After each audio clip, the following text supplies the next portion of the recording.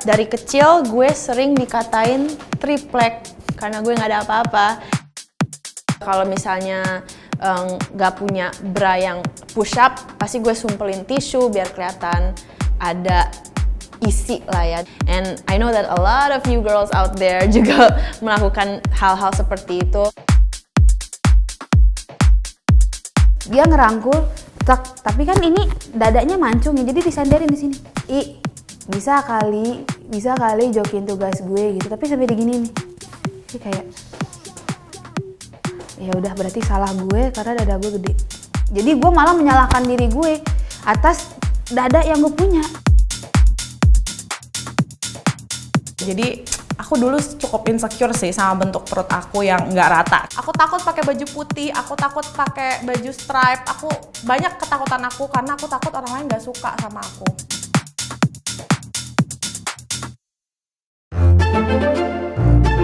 Live and breathe HBO dan dari dulu gue sering uh, nonton movie-movie Amerika. Kenapa?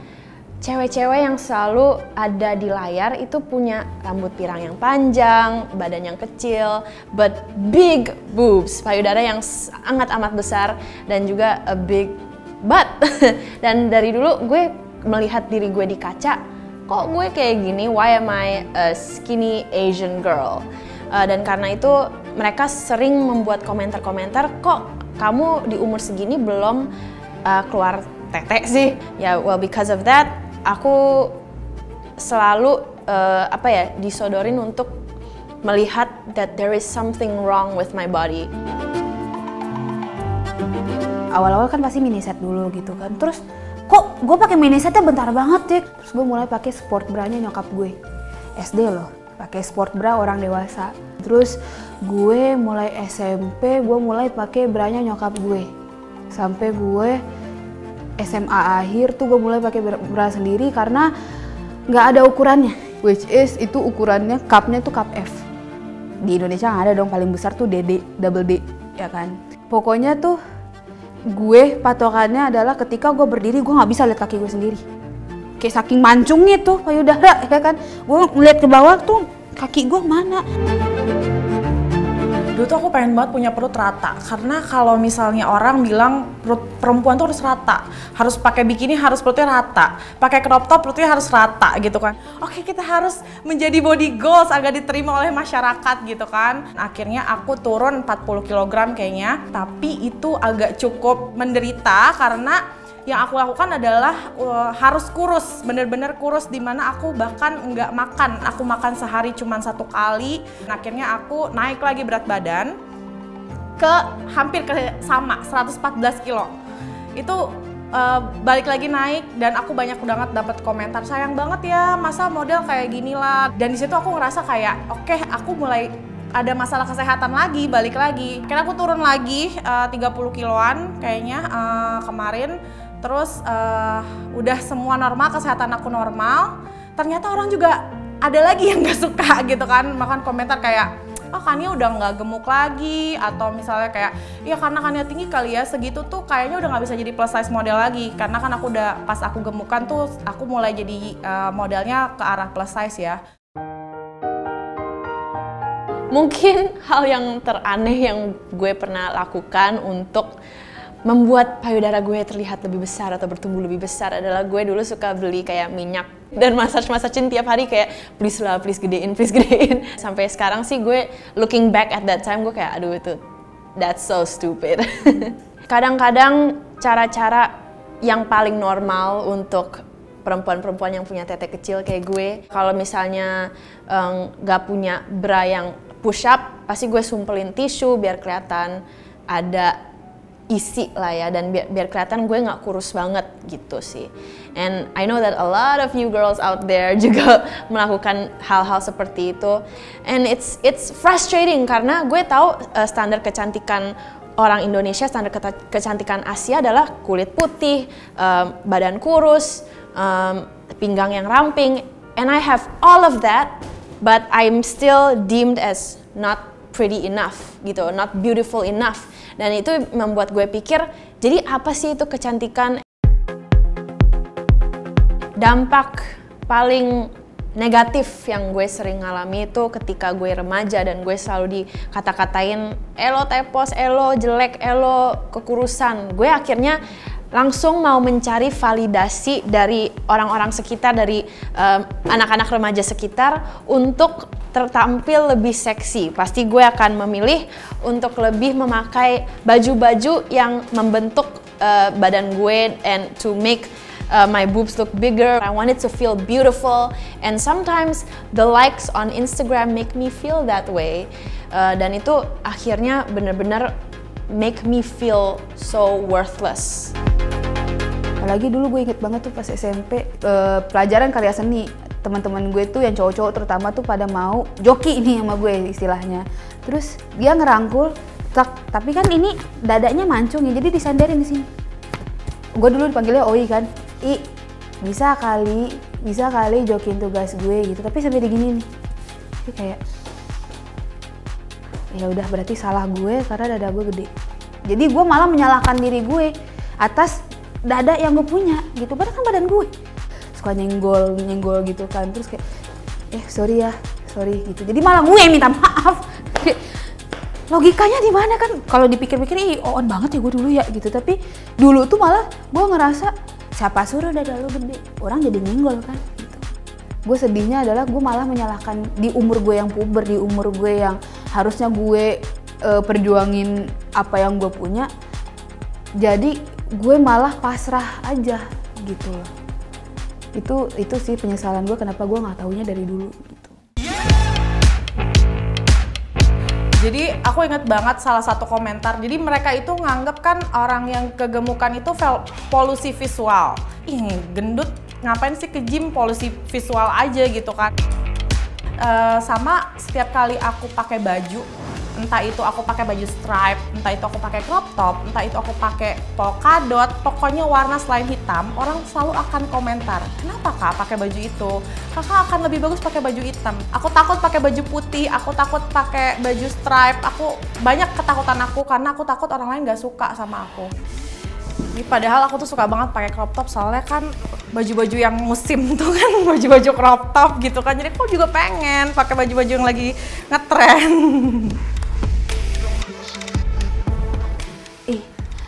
dia ih gede banget nih tipe gue pasti jago di ranjang kayak kenapa sih? Kenapa sih arah arahnya tuh harus ke sana? Gitu loh. Kenapa harus ke seksual ke ke hawa nafsu lo, lo kayak ya udah simpen aja buat diri lo sendiri. Jadi kan gue mikirnya kalau gue terus-terusan menanggapi yang negatif kayak gini kan sangatlah tidak apa ya sangatlah tidak etis buat gue. Karena kalau gue akan nanggepin hal yang kayak gitu terus lama-lama justru malah gue mempertanyakan diri sendiri kok orang-orang reaksinya negatif terus ya sama gue? Ah gue harus stay positif. Ah kalau struggle dengan banyak hal responnya kayak gitu lo berjuang untuk diri lo sendiri gitu loh. Lo berperang sama diri sendiri ini. Jadi lama-lama justru gue yang gila. Salah satu aspek paling challenging adalah uh, narasi yang di, selalu diucapkan oleh keluarga atau orang-orang terdekatmu yang mempunyai mentalitas yang masih outdated dengan apa yang uh, kau alami sekarang. Jujur, semua ini cycle ini adalah uh, generational trauma cycle karena ibu gue pasti juga digituin sama uh, nenek gue dan nenek gue digituin sama buyut gue. Atau nggak membuka conversation kepada nyokap bokap lo yang sering ngejek-ngejekin lo tanya why do you always do this? Mom mom dad like come on you gave birth to me. Uh, gue punya tete kecil juga gara-gara lo gitu loh.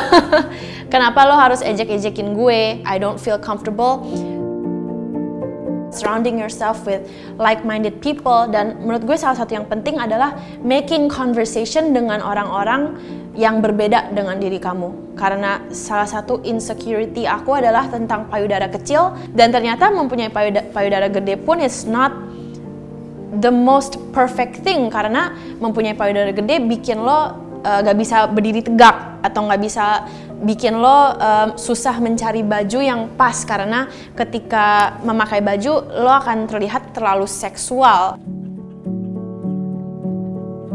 Gue memutuskan untuk operasi reduksi payudara ketika gue benar-benar udah nggak tahan lagi sama badan gue. Gue nggak peduli sama omongan orang kayak lo lo operasi karena omongan orang ya eh nggak sayang.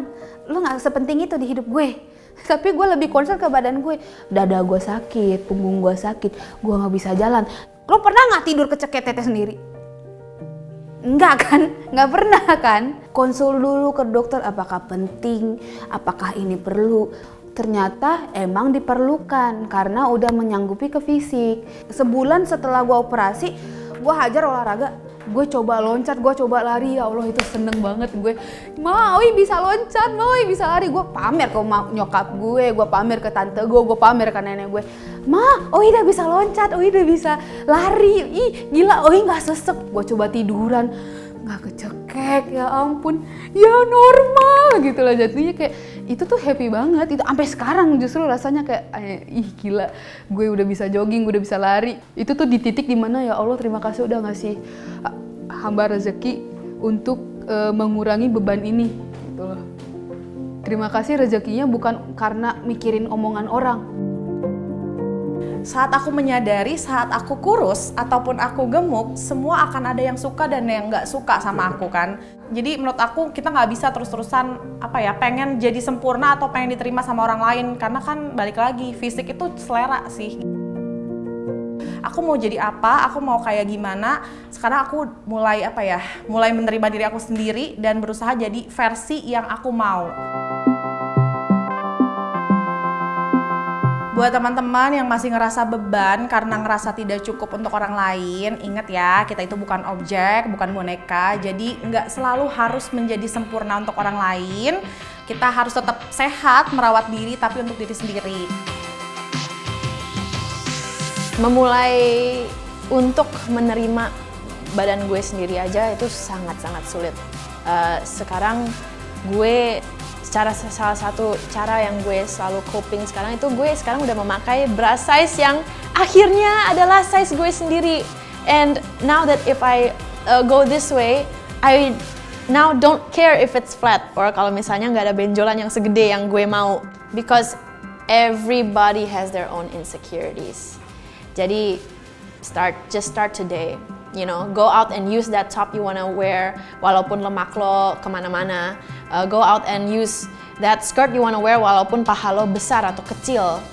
It's, it starts with yourself and dan no uh, tidak ada seorang pun yang berhak untuk kasih tahu what you are and what you are not supposed to wear. Itu sih cara gue. Ketika lo nggak bisa menerima diri lo sendiri juga nggak apa-apa. It's okay karena susah. Untuk menerima diri sendiri tuh nggak dalam gue terima diri gue sendiri. Nggak gitu nggak bisa. Lo harus mengikuti proses yang panjang kayak gitu tuh nggak sebentar. Waktu itu tuh temen lo. Kalau misalkan lo mau berdamai dengan diri lo sendiri nggak apa-apa nggak cepet. Pelan-pelan tapi pasti it's okay. Atau misalkan lo emang belum siap untuk menerima diri lo it's okay. Tapi satu jangan pasrah. Dua jangan menyalahkan keadaan